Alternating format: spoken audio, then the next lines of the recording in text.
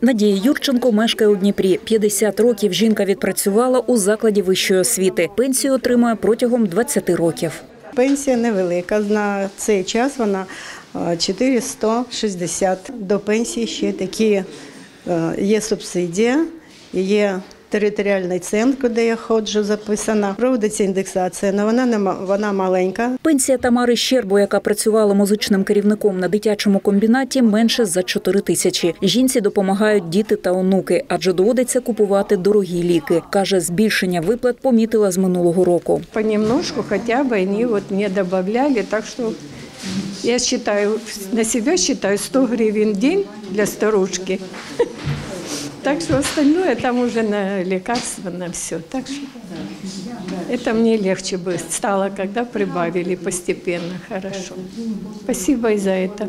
За даними моніторингової компанії Open Data Bot, понад половина літніх людей в Україні отримує виплати менші за 4 тисячі гривень. Що стосується Дніпропетровщини, в нашій області мінімальну пенсію надають 3% громадян, максимальну лише 1%.